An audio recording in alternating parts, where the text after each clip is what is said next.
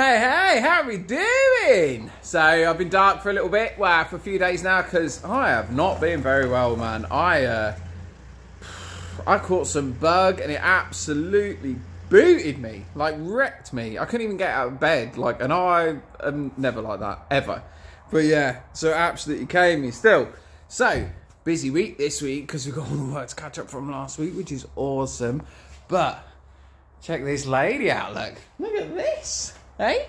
We're almost ready to be sticking the tape down. She was supposed to be done today, but we had other stuff to do. Got some little tricks in the corner I've been working on. And yeah, it's all good, but this is what I wanted to show you. Look at that. That there.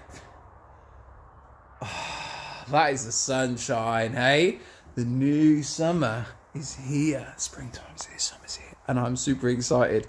Hope you'll have a beautiful evening, and I shall catch up with you tomorrow, alright? You take it easy.